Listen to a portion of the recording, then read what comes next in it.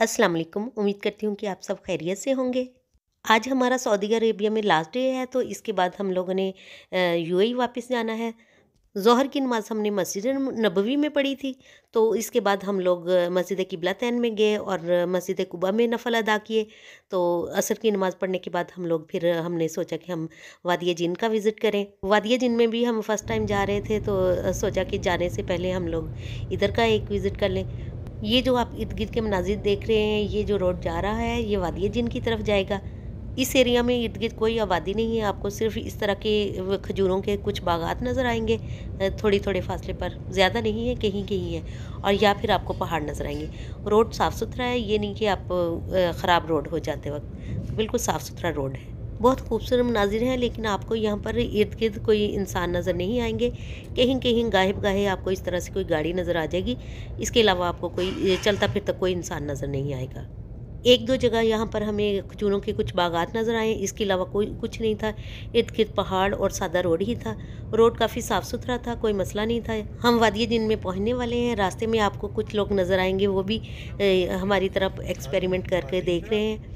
तो रास्ते में आपको ये जो लोग नज़र आ रहे हैं ये भी हमारी तरह ही आए हुए हैं। हम लोग अपनी मंजिल पर पहुँच चुके हैं। हमारी गाड़ी पीछे को जा रही है ढलवान की तरफ़ से। न्यूट्रल की हुई है।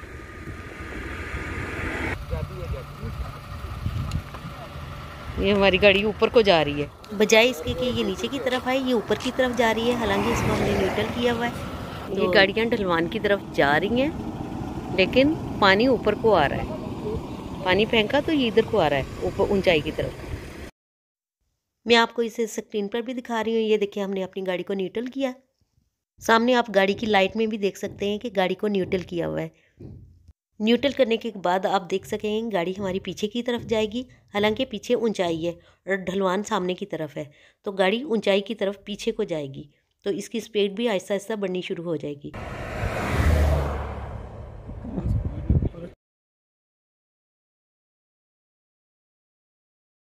रेस छोड़ रही है और गाड़ी तेज़ी से पीछे की तरफ़ जा रही है। हालाँकि ऊपर पीछे की तरफ़ ऊंचाई है और हमारे सामने वाली साइड ढलवान है तो पीछे को ऊंचाई की तरफ़ बड़ी तेज़ी से गाड़ी जा रही है। गाड़ी की स्पीड काफ़ी तेज़ होना शुरू हो गई थी तो हम लोगों ने फिर पीछे काफ़ी हैवी ट्रैफ़िक थी तो इस वजह से हम लोगों ने फिर जल्दी इसे बंद कर दिया, गाड़ी को रोक दिया ताकि कोई हादसा वगैरह ना हो जाए तो इस वजह से हमने इसे रोक दिया। ही ज़्यादा ढलवान है, पीछे को गाड़ी उतनी ही तेज़ी से जा रही है, यानी ऊंचाई की तरफ़ गाड़ी हमारी रिवर्स जा रही है। यहाँ पर मैं आपको पानी डालकर भी दिखाऊँगी। पानी जो हमारा होगा ना, वो ऊपर की तरफ़ जाएगा, यानी ढलवान के ऊपर वाली साइड पे जाएगा, नीचे की तरफ़ नहीं आएगा। वैसे तो पानी अगर ऐसी चीज़ डालो तो वो नीचे की तरफ़ स्लोप की तरफ़ आती है ये, लेकिन ऊंचाई की तरफ़ जा रहा है। जो हवा का रुख था, वो अपोजिट था, यानी हवा का रुख ढलवान वाली साइड पर था और पानी ऊपर वाली साइड पर जा रहा था।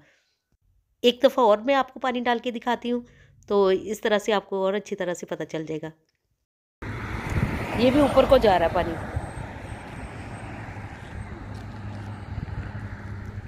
ये ढलवान है, ऊपर को जा रही है। ये बोतल भी उलट साइड पे जा रही। है ये पानी जो हमने गिराया, ऊंचाई पे यहाँ पर, यहाँ तक आ गया, ऊंचाई की तरफ़। लेकिन वो ढलवान, नीचे को ढलवान जा रही है। यानी और पानी ऊपर को आया हुआ है। अब ये ढलवान वाली रोड है। नीचे को जाने के बजाय हमारी गाड़ी पीछे को आ रही है? पीछे को जा रही है न्यूट्रल करने के बाद। ये हमारी गाड़ी तेज़ी से पीछे को जा रही है। गाड़ी तेज़ी से पीछे को जा रही है तो इसके बाद हमने सोचा कि हम अब काफ़ी एक्सपेरिमेंट कर लिए थे तो हमने वापसी शाम भी हो रही थी तो हमने वापसी की तरफ़ आना था। यहाँ पर हमने गाड़ी को न्यूट्रल करने के बाद हमने वापसी का रुख लिया। फोर्टी सेवन की स्पीड पे हमारी गाड़ी न्यूट्रल जा रही है। Fifty fifty one. Fifty three. 55 time गाड़ी 60 की स्पीड पे जा रही है और आहिस्ता आहिस्ता इसकी स्पीड कम होने की बजाय बढ़ रही है। मुसलसल इसकी स्पीड बढ़ रही है। ये आप सामने भी लोग देख रहे हैं तो ये भी हमारी तरह ये भी एक्सपेरिमेंट कर रहे हैं।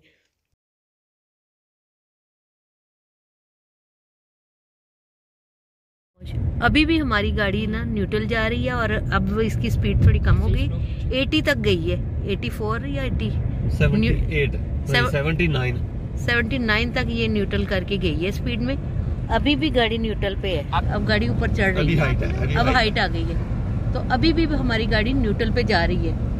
और स्पीड इसकी चेक करें।